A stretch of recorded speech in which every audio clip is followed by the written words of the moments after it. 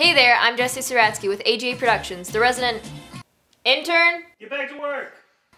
and you're watching Two Minute Takeaway.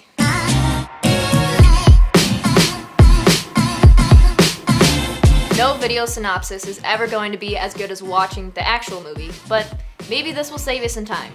I just recently watched The Greatest Showman. Here are my thoughts. Let's start the timer. Why did I watch it? Right when I watched the trailer, I got chills in an instant. I knew that this was a movie that needed to be watched. And as usual, I was correct. What's my main takeaway? My main takeaway from The Greatest Showman was that I need to be the person that I was created to be and follow my dreams. There's a song in this movie called This Is Me. The chorus says, When the sharpest words want to cut me down, I'm gonna send a flood, gonna drown them out. I am brave, I am bruised, I am who I'm meant to be, this is me. Look out, cause here I come. I'm marching on to the beat I drum. I'm not scared to be seen, I make no apologies, this is me. I am who I am, and I'm gonna be who I was created to be, whether people like it or not. How it changed my life was by showing me that I should always hold on to my dreams, even if they seem so far away and impossible. Nothing is impossible as long as you believe and really work for it. To quote P.T. Barnum, whatever you do, do it with all your might.